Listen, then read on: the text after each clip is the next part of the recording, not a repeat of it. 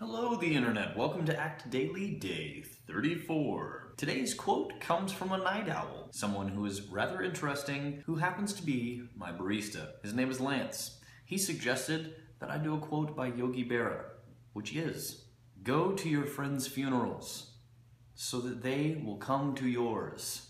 This is either a, re- a really dark and sad quote or rather existential. I don't know. Just absorb that a little bit, then learn it. Shoot your video with the hashtag ActDaily and upload it.